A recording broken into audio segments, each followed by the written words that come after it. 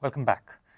So, we now find ourselves ready to look at the weak form of the linear elliptic PDE for scalar for a scalar unknown in three dimensions.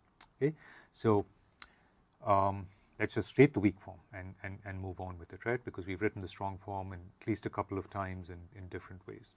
So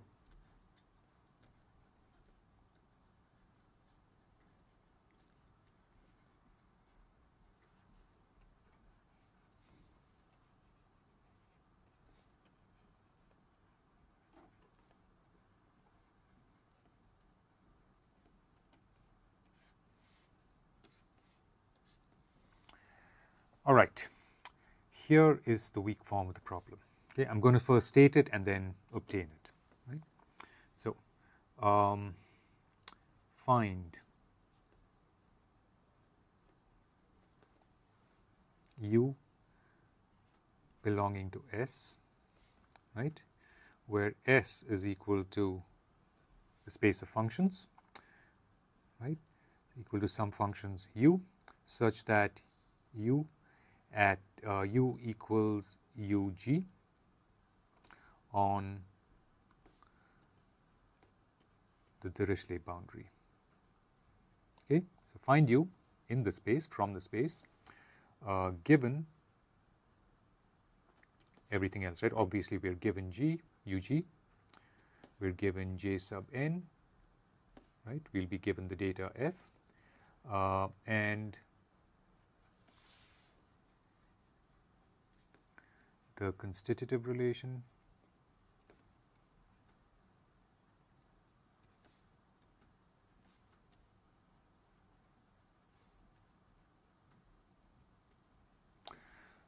Our constitutive relation now is um, j sub i equals minus kappa ij u sub j, okay, given all this, right find u such that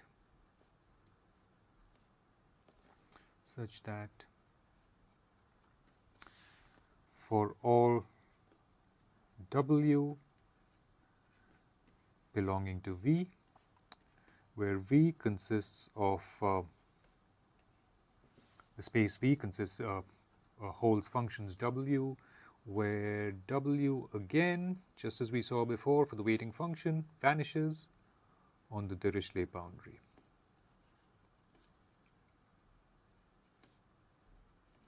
Okay, find u belonging to S given the data such that for all w belonging to V, the following condition is satisfied.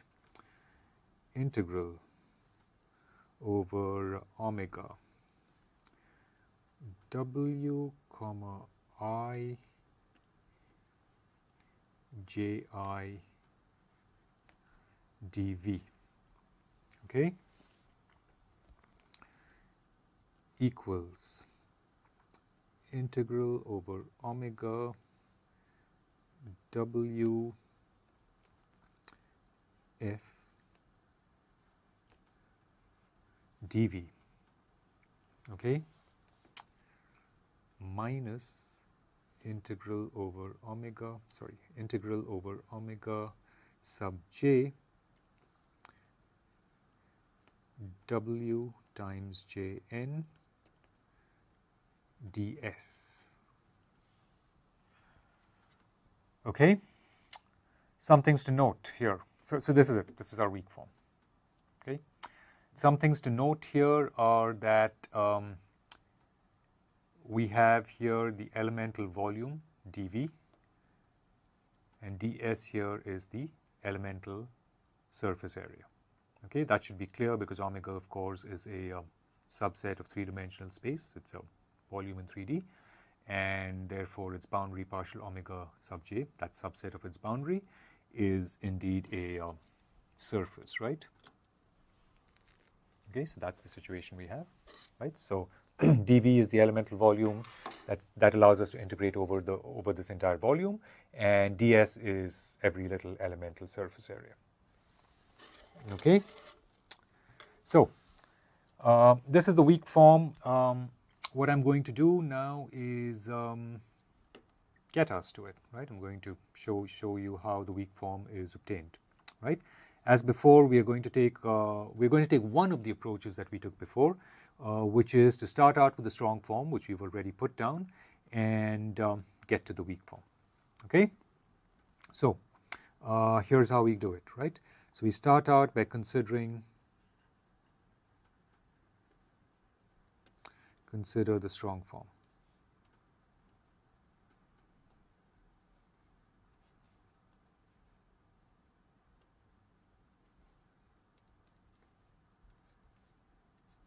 Okay, we have the usual stuff, right? So we have find you given all the data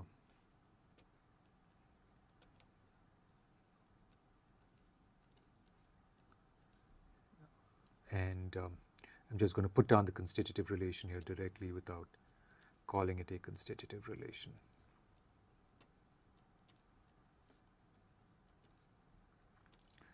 Right, so given all this stuff, find u such that st is short form for such that um, we have minus j i comma i equals f in omega, right?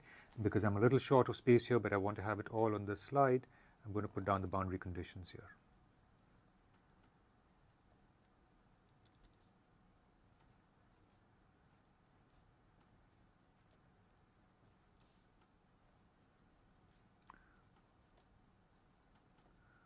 The Dirichlet boundary condition and our Neumann boundary condition.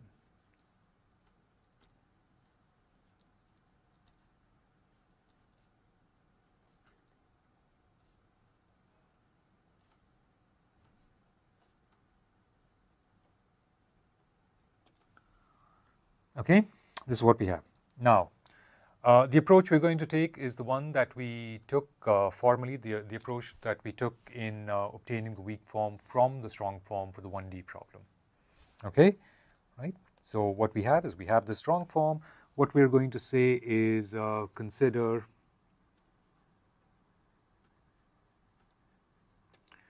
W belonging to V right, where V of course is, is the, uh, has the properties that we stated before.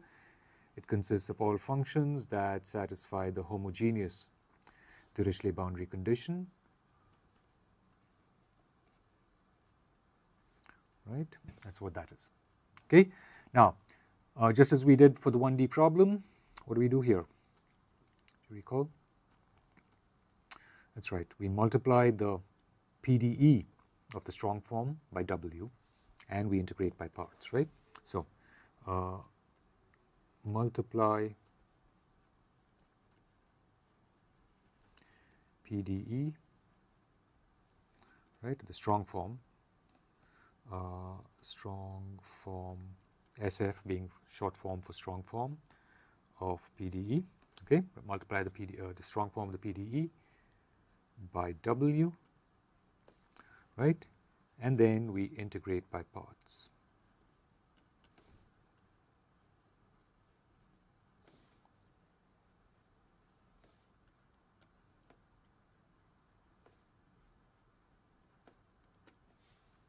Okay, that's what we do.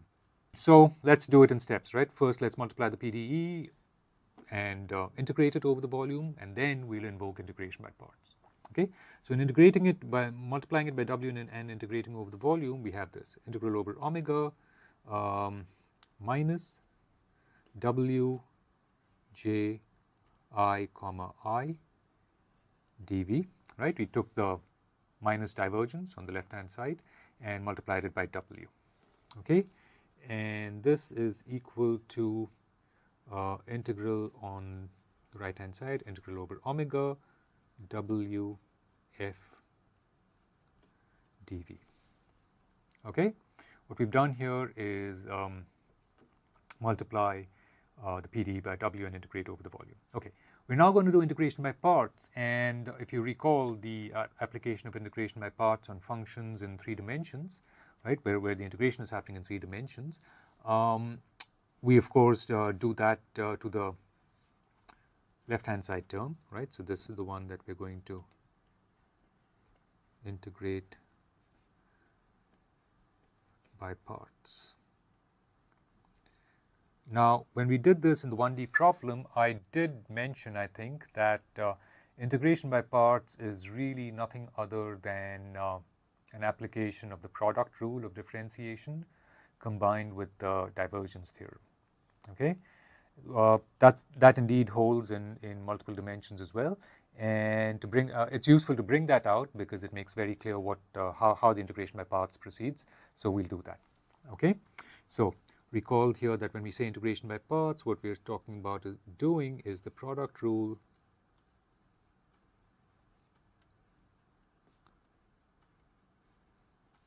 and uh,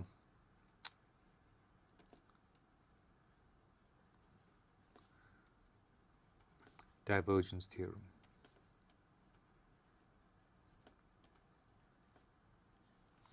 Okay. Firstly, the product rule tells us the following, right? It tells us that uh, we really need to look at W multiplied by Ji comma i as being just one term in applying the product rule of differentiation, right? So it tells us that that really is integral over omega uh, W J I the whole thing comma i and we should make sure not to forget our signs right? This plus w comma i j i.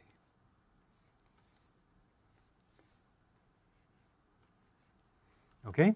So if you expand out the first uh, term in the integrand, you will see that it can that one of the terms it produces because of the product rule cancels out the second term, right? And we're left with what we had in the first line. Okay. So this is equal to integral over omega w f dv. Okay. But then when we stare at our um, left hand side integral, we realize that we can actually view w j i as essentially a vector, which it is, right? Because j is a vector, right? So um, this is a vector right, component i. And um, that term is essentially the divergence of Wj. And there we invoke the divergence theorem. Okay? Right? So this step is really just the product rule.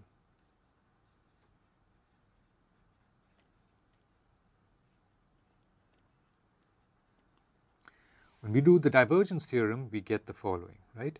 Uh, the divergence theorem tells us that this integral over omega is really an integral over the over the boundary of omega okay uh, minus integral over the boundary of omega of w j i n i right where n i is of course our unit outward normal something that we'd uh, observed in one of the previous segments right?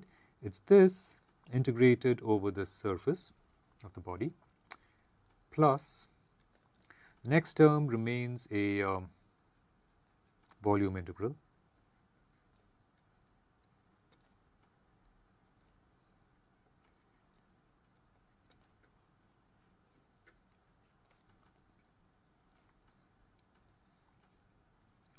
and the right hand side stays the same.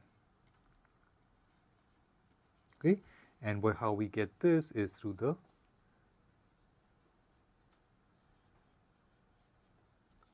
divergence theorem. Okay? What we are going to do next is take this surface integral sorry take this surface integral over to the right hand side. When we do that we get integral over omega w comma i J i dv equals integral over omega w f dv plus. Now, that integral over the entire surface partial omega, I am going to break up to integrals over each of the two subsets we have identified for the boundary, right. And those subsets, you recall, are the following. One of them is the Dirichlet boundary, partial omega u, right? And so here we have w, j, i, n, i, ds plus integral over the Neumann boundary w, j, i, n, i, ds. Okay, now let's stare at the last two boundary integrals. What can we say about the first one? What can we say about the first integral? Think about it. It's over the Dirichlet boundary. It's w, j, i, n, i, ds. Right, we can say that over the Dirichlet boundary, because W we are picking to live in the space V, which satisfies homogeneous Dirichlet boundary conditions, we have that, right? So that first term, that first integral drops out. What about the second integral? We're starting with a strong form, which includes the boundary conditions explicitly, right? And in particular, the way we wrote out the boundary conditions, uh, we specified that the heat influx vector, which is minus, it's not the heat influx vector, the heat influx minus Ji Ni on the boundary, right, on the Neumann boundary, is uh, heat influx if you're talking the heat conduction problem, right? Mass influx if you're talking mass diffusion. Anyway, Ji Ni we identified as being minus J sub n. Okay? So when we put these things together, we arrive at um, the form that I had put down originally, right? I think at the top of the previous slide.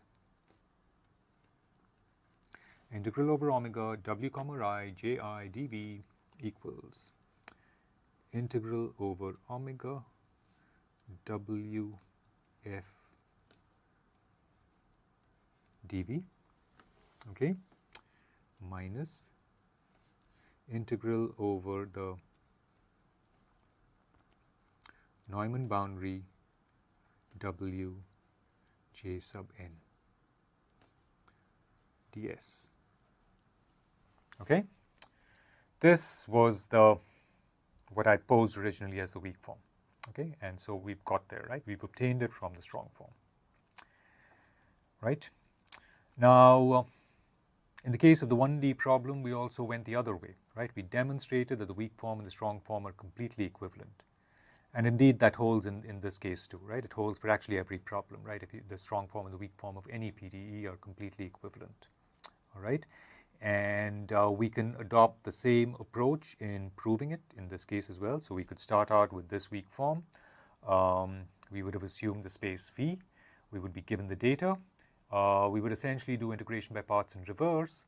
And then we would go through the tricky business of invoking those um, variational arguments, right, on how the, on, on, on the manner in which W can be chosen, right, or, or, or the very fact that W has to hold for, for, for all functions living in V allows us to st state that it also holds for certain spe special functions, okay, and that is what would bring us to the strong form.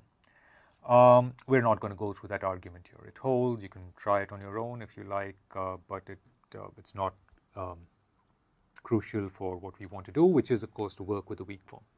Okay, so we're just going to stop here as far as deriving the weak form is concerned. Uh, let me also uh, make a remark. Let me just state here, actually, it's more than a remark, so I'm going to state it in sort of the main text, so to speak, uh, which is to say that the weak form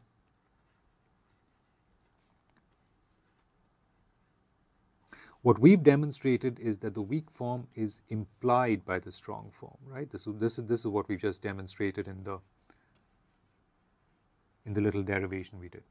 Okay, one can prove also that the other direction holds. Okay, it's not difficult. You can just follow the notes and, and follow the steps we took in the 1D case. Okay, we're not going to show this, this uh, we're not going to show the right-hand side implication. We demonstrated the left-hand side implication. Okay, um, well, this is it, right? So, so this is this is our weak form, and this is what we're going to work off to to develop the finite element method. Um, That will, uh, however, be best done in a different segment. Before we end this segment, there's just one remark I want to make, which is um, actually um, applicable to the to the strong form. Okay, um, just a remark I want to make here, which is that if you look at um, recall the PDE of the strong form.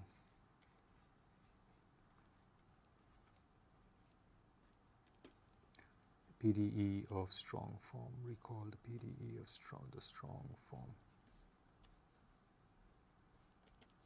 Right, which is uh, minus j i comma i equals f. Right, or in uh, in uh, direct notation it is minus del dot j equals f right in omega. I just want to recall for us the interpretation here. Now, you know that if we take this body and we uh, look at the PDE that we have, the PDE really holds pointwise, right? So it holds over every little infinitesimal volume in this, um, over this domain, right? So if you were to go inside, cut it open and take a little volume, that PDE, uh, the, the strong form of the PDE holds over that little infinitesimal volume. Okay, and what I just want to do is to recall for us here the interpretation of the minus divergence, right? Uh, in this in this uh, in this setting in 3D, the minus the, the divergence itself vector is the is the total net outflux over that little volume. Okay, so the negative divergence is the total uh, is is the net influx into that little volume. And all this PDE is saying in strong form is that the net influx into every little infinitesimal volume is driven by what we recognize to be a source term. Okay, so let me just uh, do that little, uh, make that little argument here. Right, so if we have our, this is this is our body omega. What we are talking of doing here is considering a little volume element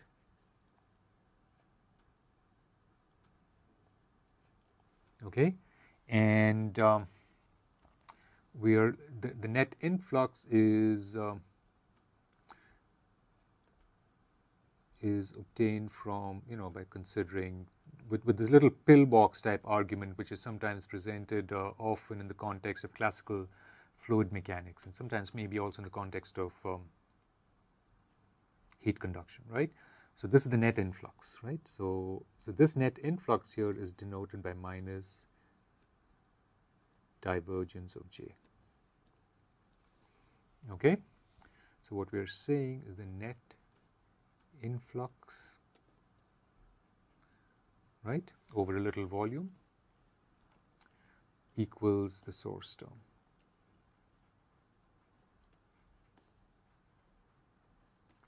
right or minus del dot j equals the source term which is f right at every point in omega right? So that little pillbox there represents a point in omega right? So we may choose to say that okay that has the position vector x right? So the point out there. It has the position vector x that that little pillbox has been constructed about that point x. Okay? All right. I uh, just wanted to recall this uh, argument, uh, this, this interpretation, because I'd um, omitted to mention it. Okay, so we're done with this segment. What we've done very quickly, actually, is uh, get to the weak form. When we return, you know how this is going to proceed. We are going to set up the finite dimensional weak form. We're going to first observe that this is the infinite dimensional weak form. We'll set up the finite dimensional weak form and um, develop our finite element methods. All right, we'll stop.